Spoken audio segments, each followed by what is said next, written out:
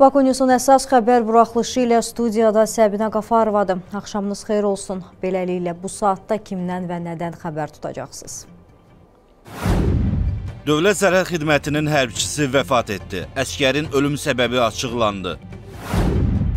Xarici İşlər Naziri Misirə səfər etdi. Ceyhun Bayramov Qüds şəhəri və onun əhalisinə dəstək mövzusunda beynəlxalq konfransda çıxış etdi.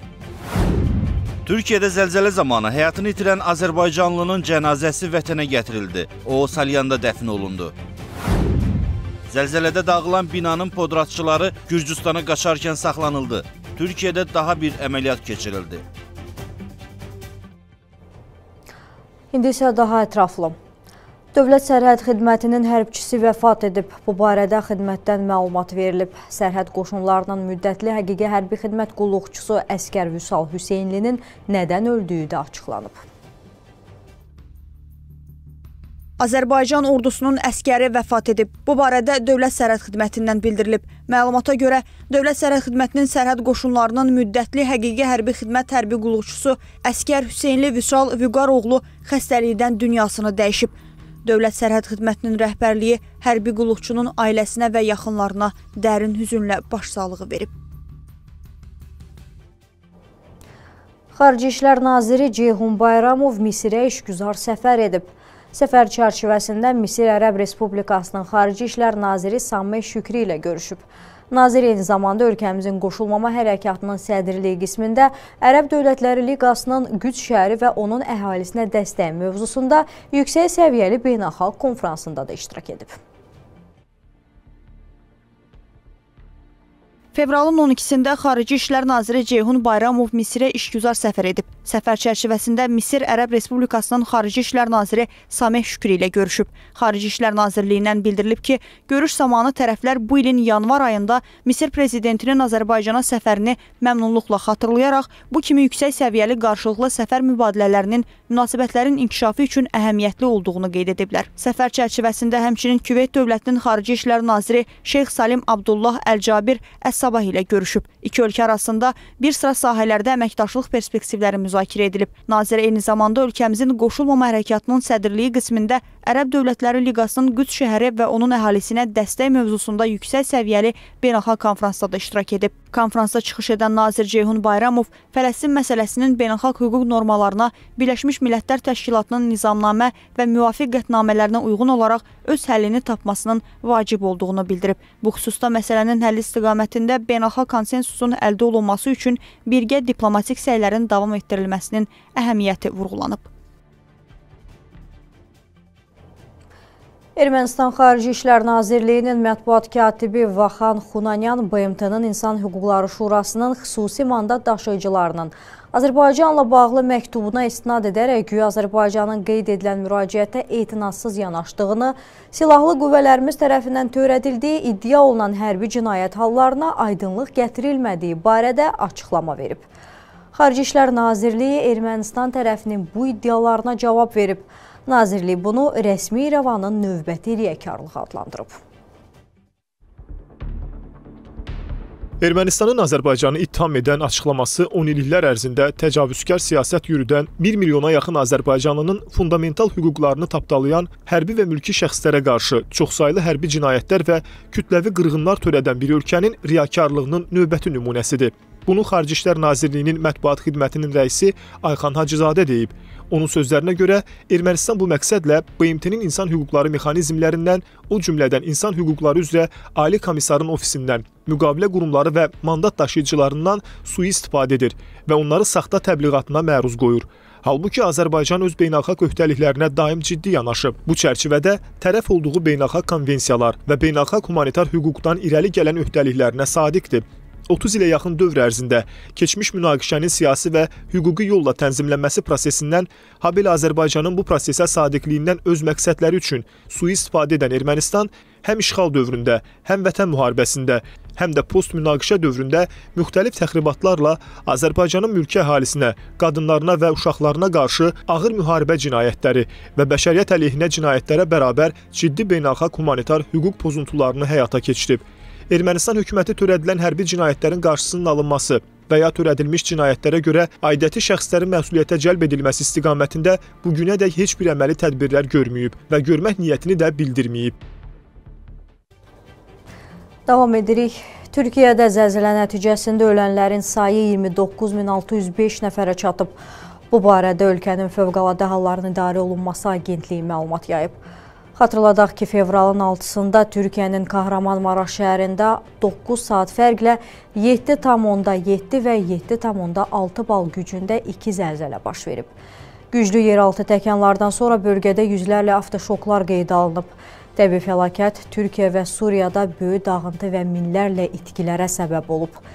İki zəlzələ həmçinin Livan, Kipr, İraq, İsrail, Yardaniya, İran və Misirdə hiss edilib.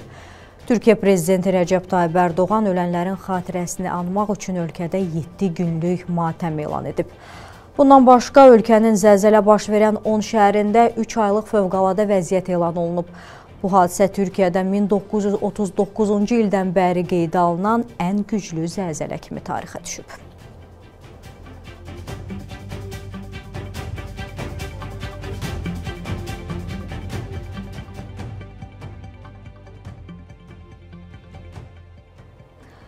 Fövqəladə Hallar Nazirliyi tərəfindən Türkiyəyə göndərilən humanitar yardımın həcmi açıqlanıb. Qardaş ölkəyə indiyə qədər 758 xilas edici, eləcə də digər humanitar yardımlar göndərilib.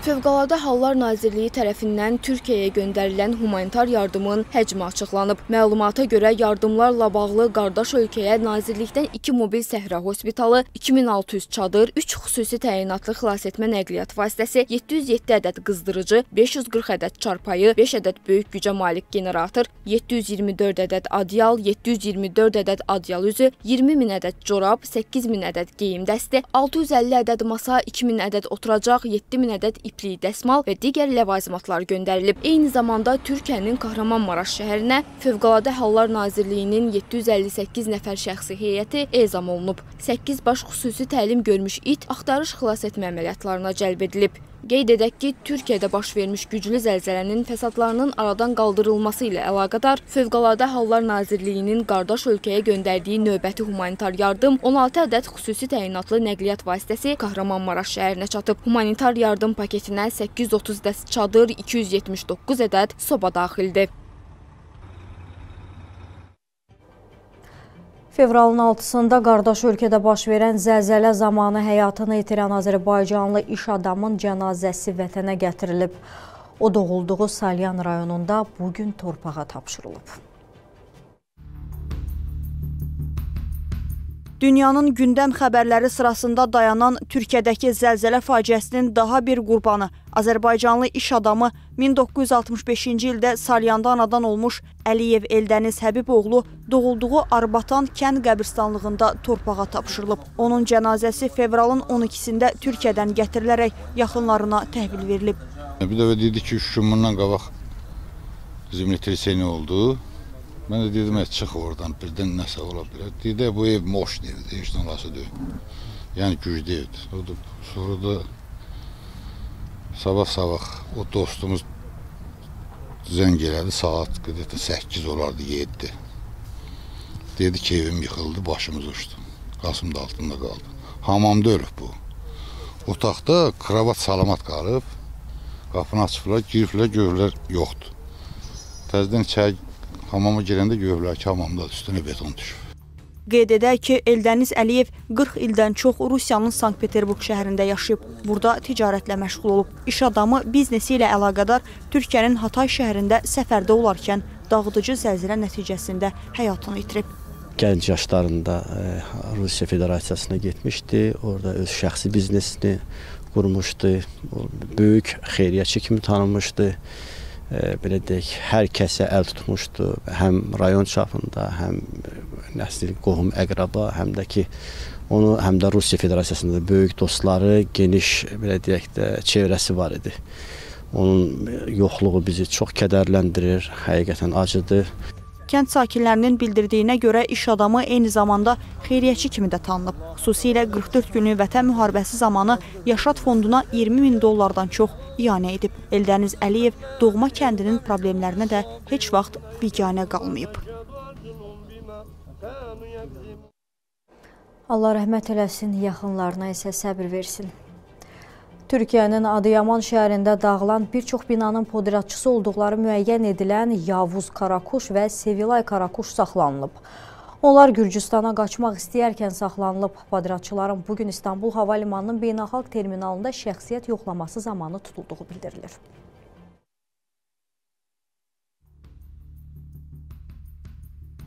Türkiyənin Kahramanmaraş şəhərində fevralın 6-sında baş verən zəlzələ nəticəsində dağıntıya məruz qalan binalarla bağlı 134 nəfər məsuliyyətə cəlb olunub, 3 nəfər həbs edilib. Bunu Türkiyənin Ədliyyə naziri Bəkir Bozdağ bildirib. Nazir onu da əlavə edib ki, zəlzələ bölgəsində oğurluq faktları ilə bağlı 75 hadisədə 64 şübhəli barəsində cinayət işi başlanılıb. Onlardan 57-si barəsində həbs qərarı verilib. 7 şübhəli barəsində isə məhkəmə nəzarəti həyata keçirilib. Bundan başqa Türkiyənin Adıyaman bölgəsində dağılan bir çox binanın podratçısı olduqları müəyyən edilən Yavuz Karakuş və Sevilay Karakuşun Gürcüstana qaçmaq cəhdinin qarşısı alınıb. Məlumata görə onlar İstanbul Hava Limanının beynəlxalq terminalında şəxsiyyətin yoxlanılması zamanı saxlanılıb. Şübhəlilərin üzərindən 16 min dollar və 20 min türk lirəsi məbləğində nağd pul aşkar edilib. Dünyaca məşhur aktrisa Angelina Jolie zəlzələ ilə bağlı çağırış edib. O, Türkiyənin Kahramanmaraş şəhərindəki zəlzələdən sonra bu ölkəyə və Suriyaya yardım etməyə çağırıb. Dünyaca məşhur aktrisa Angelina Jolie fevralın 6-sında baş verən və Türkiyənin 10 bölgəsini, eləcə də Suriyanın şimal ərazilərini əhatə edən güclü zəlzələdən sonra bu ölkələrə yardım etməyə çağırıb. Aktrisa Instagram hesabında axtarış xilas etmə işləri aparan bir işçinin videosunu paylaşaraq yardımınıza ehtiyacımız var deyə paylaşım edib. Paylaşımda həmçinin Kahramanmaraşda dağıntılar altında həyatını itirən qızının əlindən tutan atanın fotosunu, Hatay şəhərinin dronla çəkilmiş görüntüsü və Suriyada axtarış xilas etmə işlərindən bir kadrda yer alıb. Yardım kampaniyasının linkini də izləyiciləri ilə paylaşan aktrisa Qəlbim Suriya və Türkiyə xalqı ilədir. Bir çox ailənin çəkdiyi ağlasığmaz ağrıları anlamaq çətindir. Ümid edirəm ki, başqaları da yəni etməyə düşünər və beləcə həyatları xilas etmək üçün səylərini davam etdirə bilərlər deyə qeyd edib.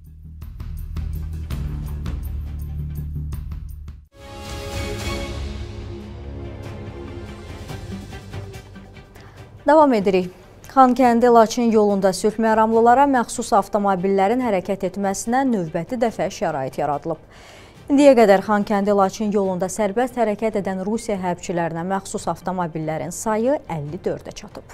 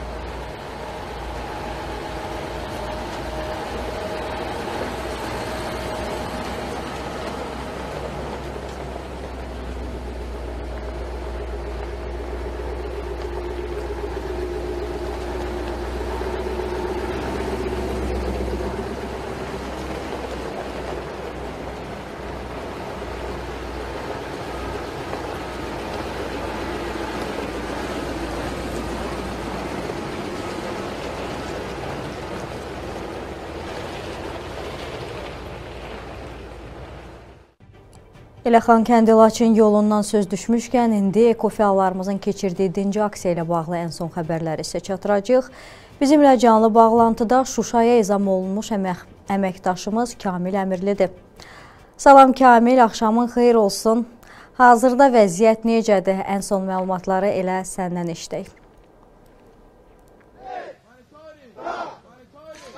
Salam, Səbinə, axşamınız xeyir olsun. Sizi və tamaşaçılarımızı yenidən Azərbaycanın mədəniyyət paytaxtından keçən Laçın Xankəndi yolundan salamlayıram. Bəli, qeyd etdiyiniz kimi artıq 63 gündür ki, ekofəallarımız Qarabağımızda, əzəli əbədi torpaqlarımızdakı faydalı qazıntı yataqlarımızın qanunsuz istismar olunmasına, təbii sərvətlərimizin talan olunmasına və ümumilikdə ekoloji yaşıl terrora qarşı öz etirazlarını bildirirlər və arxamızda görünən bu gənclər artıq 63 gündür ki, öz şüarlarını, öz tələblərini üç dildə Azərbaycan, rus və ingilis dillərində səsləndirməklə dünya ictimaiyyətinə çatdırmağa çalışırlar və tələblər isə əlbəttə ki, dəyişmir, sadə olaraq qalır və e, qeyd eləyək ki, ekofəallarımız e, eyni zamanda könüllülərimiz və vətəndaş cəmiyyətimizin nümayəndələri e, Qarabağdakı faydalı qazıntı yataqlarımızla və təbii sərvətlərimizlə bağlı e, ekoloqlarımızın və mütəxəssislərimizin araşdırmalara başlamasına şərait yaradılmasını istəyirlər və bir daha vurğulayaq ki, Bu tələblərini də üç dildə şüarlar səsləndirməklə e, dilə gətirirlər. Qeyd edeyim ki, səhər saatlarından indiyədək bu, bu dəqiqələrə qədər ümumilikdə Rusiya sülhməramlıq kontingentinə məxsus 58 təminat avtomobili bu yoldan hər iki istiqamətdə həm Laçından Xankəndiyə, həm Xankəndidən üzü Laçın istiqamətinə doğru keçid eləyib ki, e, həmin avtomobillərdən də, yəni 58 avtomobildən 52-si təminat təchizat avtomobilləri idi və eyni zamanda yanacaq daşıyan avtomobilləri və bununla yanaşı evakuasiya və təmir avtomobillərinin də biz keçidini müşahidə etmişdik. Bundan əlavə qeyd etmək lazımdır ki, 6 e, mini avtomobili bu e, keçidini müşahidə etmişdik. Onlar da hər iki istiqamətdə keçid etmişdilər. Qeyd edim ki, ötən gün ərzində e, Beynəlxalq Qızıl Xaç Komitəsinə məxsus təminat avtomobillərinin 12 təminat maşınının biz bu yoldan istifadəsini gördük ki, həmin maşınların, həmin avtomobillərin də içərisində ümumilikdə 20-yə yaxın mülki erməni şəxs və onlar arasında hətta körpələr və uşaqlar da vardı. Müxtəlif yaş qruplarından olan uşaqlar da var idi ki, onlar da iki istiqamətdə hərəkətlərini davam etdirdilər. Təbii ki, Laçın Xankəndi yolu yolu humanitar aksiyanın keçirilməsinə baxmayaraq tamamilə açıqdır. Çünki Bu məqamı niyə vurğulayırıq? E, buna bununla bağlı qeyd edirik ki, e, Ermənistan mətbuatında davamlı şəkildə və son günlər xüsusilə də qeyd eləyək, e, son günlər ərzində Ermənistan mətbuatında və xüsusən də separatçı rejimə, xunta rejimə məxsus mətbu orqanlarda və saytlarda, sosial şəbəkələrdə belə bir məlumatlar paylaşılıb ki, güya ekofəallarımız, könüllülərimiz Laçın Xankəndi yolunu bağlayıblar, blokad yalıblar. Əlbəttə ki, bu cür gülünc, bu cür dezinformasiya xarakterli məlumatlar, xəbərlər təbii ki, ekofəallarımızın, könüllülərimizin könüllülərimizin keçirdiyi dinc humanitar aksiyaya kölgə salmaq məqsədi daşıyır və əlbəttə ki, həmin xunta rejim bilməlidir ki, bu cür e, yalan məlumatlar əlbəttə həm öz daxillərində, həm e, separatçı rejimin öz daxilində, eyni zamanda e, belə deyək, dünya ictimaiyyətinin içərisində də gülüşlə qarşılanır ki, bu cür yalan informasiyalarla ekofəallarımızın keçirdiyi dinc aksiyaya kölgə salmaq məqsədi daşıyan bir məlumat paylaşırlar. Qeyd eləyək, qeyd eləyək ki, ötən həftələrdə, ötən günlərdə də həm xarici səyyahlar buradaydılar, 12 ölkədən olan xarici səyyahlar ərazidə idilər. Burada baş verənləri izləyirdilər və onlar da bir daha gördülər ki, Laçın Xankəndi yolunda heç bir bağlanma, heç bir blokada yoxdur.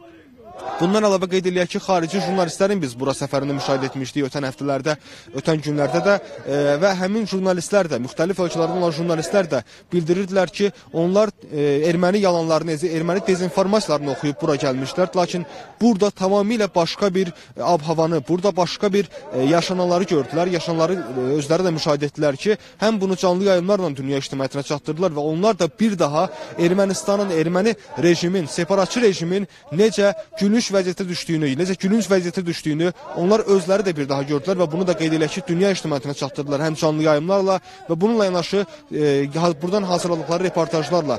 E, bununla yanaşı qeyd eləyək ki, Ötən həftə biz e, Rusiya, e, Azərbaycandakı Rus icmasının nümayəndələrini 30-a yaxın üzvünü burada gördük. Onlar da e, gəlmişdilər, ərazidə idilər və ekofəallarımıza, aktivistlərimizə dəstək olmaq məqsədi ilə onlar da belə deyək, keçirilən bu dinci aksiyaya dəstək verirdilər və şüarlar səsləndirirdilər ki, Azərbaycanın əzəli əbədi torpaqlarında olan qanunsuzluqlar, ekoloji cinayətlər, yaşıl terror sona çatsın, dayandırılsın. Təbii ki, bütün bu dünya ictimaiyyətinin bura olan marağı əlbəttə ki, bir daha sübut eləyir ki, Azərbaycan tam olaraq haqlıdır və öz suveren ərazilərindəki yaşıl terrora qarşı stop deyir və öz suveren ərazilərindəki torpaqlarında olan qanunsuzluqların e, başa çatmasını istəyir. E, qısa olaraq axşam saatlarına bu dəqiqələrə çatdıracağımız məlumatlar bu qədər səbinə. İrəliyən dəqiqələrdə və növbəti günlərdə əlbəttə yenilənən məlumatlar olduqca biz də sizinlə və eyni zamanda tamaşaçılarımızla bölüşməyə təbii ki hazırıq. İndi isə sözü sizə ötürürəm. Təşəkkür edirik sizə kamil, ətraflı və dolğun məlumatınıza görə həm sizin, həm ekofiyalların sayəsində biz də həqiqətləri dünya ictimaiyyətinə çatdırmaqda davam edəcəyik və əlbəttə ümidvaram ki, tez bir zamanda məqsədimizə çatacağıq. Davam edirik. Ağdaşın yuxarı Nemətabad kəndinin 4000-ə yaxın əhalisi telefon və internet xətlərinin yoxluğundan əziyyət çəkir. Aidiyyatı qurumlardan əli üzülən sakinlər Baku TV-yə üst tutaraq mövzunun işıqlandırılmasını istəyiblər. Əməkdaşlarımız adı çəkilən kənddə olub, sakinlərin şikayətini elə yerindəcə dinləyiblər.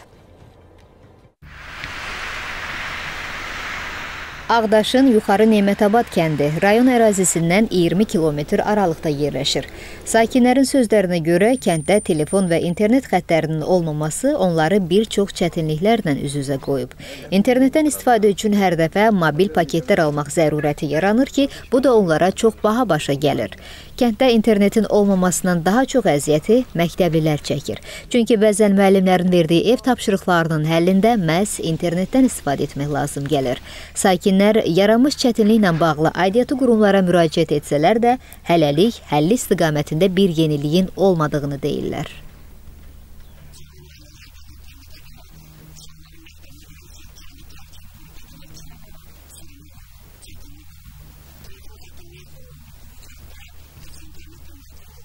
Kətçi adamlarıq. 5 manat, 10 manat gündəliyə gedib işləyirik, gətiririk. Onun da internet paketi almağa cəmaatın qüvvəsi yoxdur. Hamının uşağı koronavirus dövründə də onlaynla dərs keçməyə görə kimin imkanı oldu uşağına dərs keçdi, kimin olmadı, keçə bilmədi.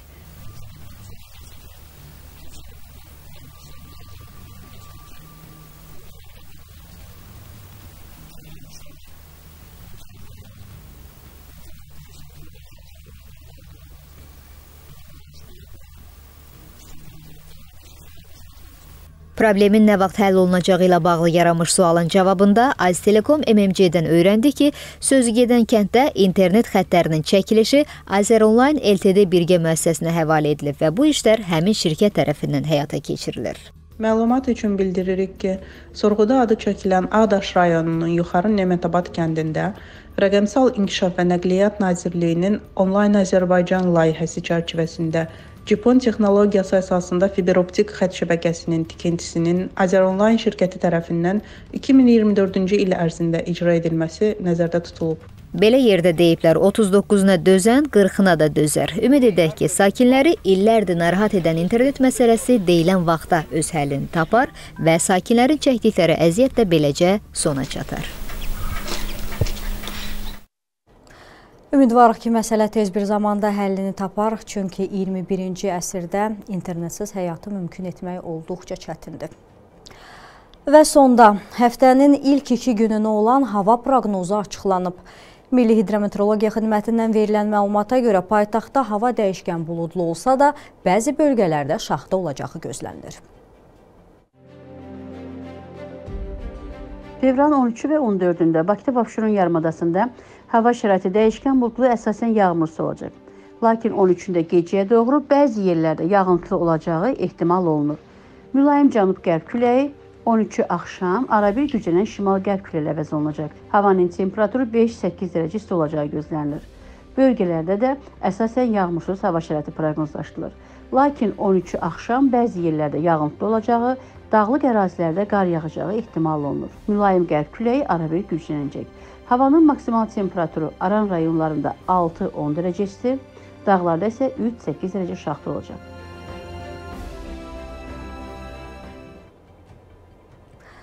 Odur ki, dəyərli izləyicilərimiz, hava şəraitinə uyğun olaraq geyinin özünüzü qoruyun. Hələlik isə Baku News'dan bu qədər. Siz isə gördüyünüz və sizi narahat edən məsələlərlə bağlı qaynar xəttimizə müraciət etməyi unutmayın. Daim yenilənən xəbərlərimizi isə Baku TV saytından, Instagram, Facebook səhifələrindən, həmçinin Telegram, YouTube və TikTok kanallarımızdan da izləyə bilərsiniz. Diqqətinizə görə təşəkkür edirik.